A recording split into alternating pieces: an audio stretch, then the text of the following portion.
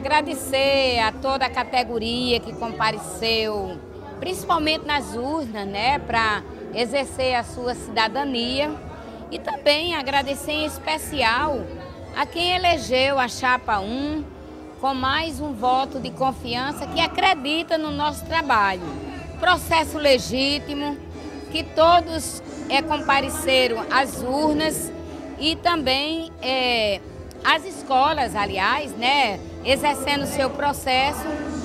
É, o nosso todo o agradecimento especial aos companheiros e companheiras aposentadas que, apesar da conjuntura, uma conjuntura perversa que vem massacrando os companheiros e as companheiras com atrasos de salário, isso é o que nós temos colocado é, no dia a dia das nossas falas e eles tiveram a, é, a exclusividade de ir ao sindicato, foi onde votou muitos aposentados e aposentadas exercer, dar o voto à nossa chapa, pela confiança que eles têm no nosso trabalho.